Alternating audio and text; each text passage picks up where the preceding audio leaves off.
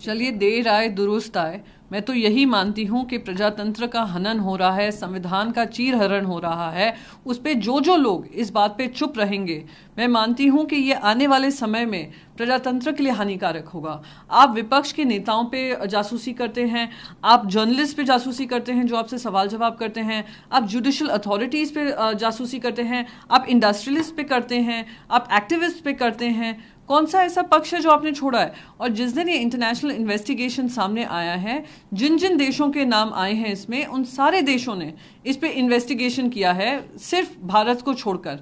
और भारत क्यों इंडिया में क्यों नहीं हो रहा है इन्वेस्टिगेशन क्योंकि हमारे सारे मंत्रीगण उनके स्पोक्स पर्सन बन गए हैं उस इसराइली स्पाईवे फर्म का इसराइल खुद उन पे इन्वेस्टिगेशन कर रहा है रेड छापे मारकर उनके जो भी गवर्नमेंट कॉन्ट्रैक्ट्स हैं उनको खत्म करने का काम किया है उस पर रोक लगाई है Today, Mill said that BJP can never think of attacking Shiv Sena Bhavan. These people are not from BJP. There are some outsiders, some export-import material. These people will take down BJP in Maharashtra.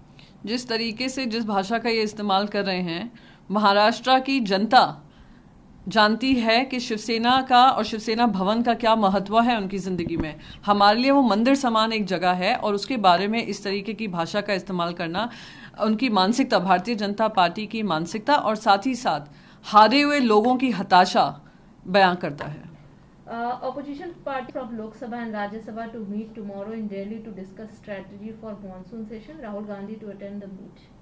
I think it is extremely important that opposition has spoken in one cohesive voice on issues that matter to the people of this country, and it becomes important that as we go along, we hold the government accountable and do not give government any kind of leeway to run away from the accountability, responsibility, and ensuring transparency in the welfare of the people of this country.